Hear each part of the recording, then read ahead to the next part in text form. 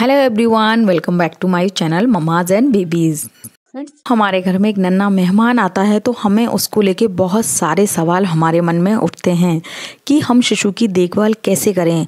हम हमारे बच्चे को नहलाना कब शुरू कर सकते हैं? हम हमारे बच्चे की मसाज कैसे करें? हम कौन से बेबी केयर प्रोडक्ट यूज़ करें? बच्चे को फ़ीड कितने टाइम के गैप में कराएँ? कैसे हम श्योर करें कि बच्चे का टमी फुल हुआ है या नहीं हुआ है?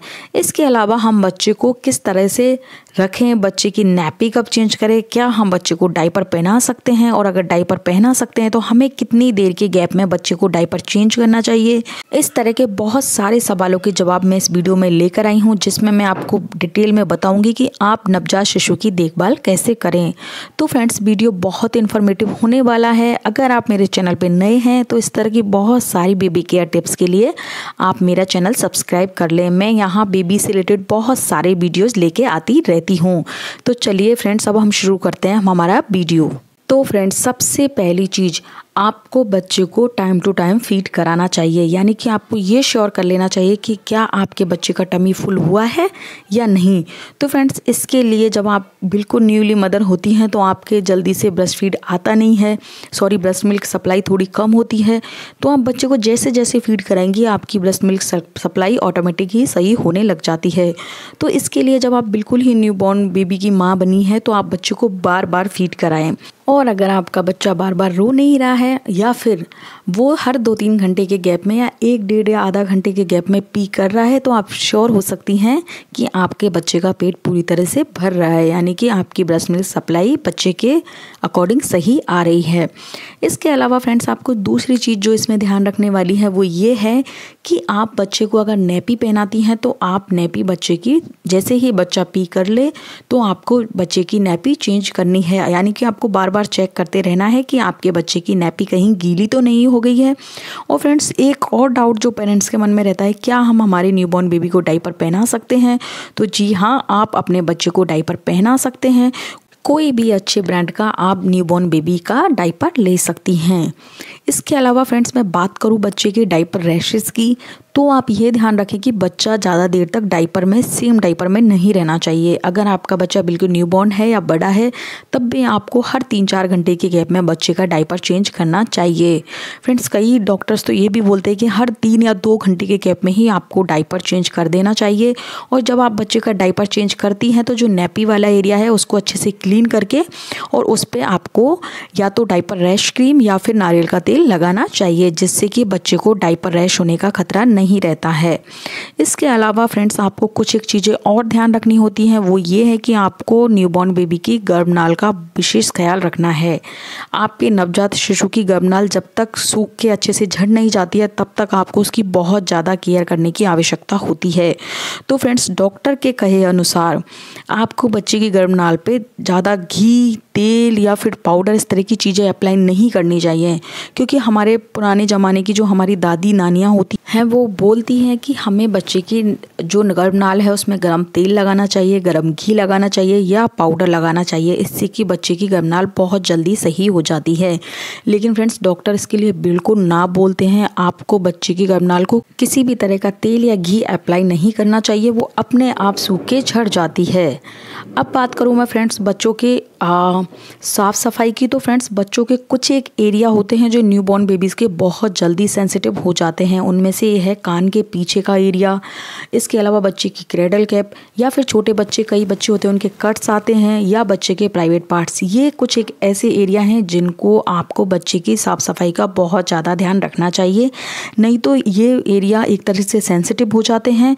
तो आप बच्चे को जब भी नहलाएँ या स्पॉन्च दें तो आप ध्यान रखें, इन एरिया को अच्छे से क्लीन करें और इन पर आप कोई भी बेबी केयर प्रोडक्ट या ऑयल यूज़ कर सकती हैं। यानी कि नारियल का तेल लगा सकती हैं इन पे क्लीन करके। और अगर आप कोई भी baby care product newborn baby के लिए चूज़ कर रही हैं तो फ्रेंड्स आप इसको बहुत ही सोच समझ के चूज़ करें। बच्चे को अच्छे ब्रांड्स के बेबी केयर प्रोडक्ट यूज़ करें। और अगर आप अच्छे ब्रांड्स के बेबी केयर प्रोडक्ट यूज़ नहीं कर रही हैं न्यू बेबी के लिए तो आप उसके लिए नारियल का तेल यूज़ कर सकती हैं। और अगर हाँ सर्दियों के दिन है तो आप सरसों का तेल भी अप्लाई कर सकती हैं। और फ्रेंड्स बेबी केयर प्रोडक्ट में आप ये श्योर कर लें कि कहीं आपके बच्चे को वो प्रोडक्ट ऐसा ना हो एलर्जी कर जाए, यानी कि बच्चे के बेबी केयर प्रोडक्ट सूट करने चाहिए। तो इसके लिए आप बच्चे के हैंड पे एक दो दिन बच्चे के जो बेबी केयर प्रोडक्ट है, यानी कि जैसे लोशन ले रही हैं तो एक दो दिन लगा के देख सकती हैं। और उसके बाद ही आप वो प्रोडक्ट कंटिन्यू करें। इसके अलावा फ्रेंड्स कुछ एक चीज़ें और आपको इसमें ध्यान रखने योग्य हैं, वो ये हैं कि आपके बच्चे का जब बॉर्न होता है बच्चा तो उसके नेल्स कई बच्चों के काफ़ी लंबे नेल्स आते हैं।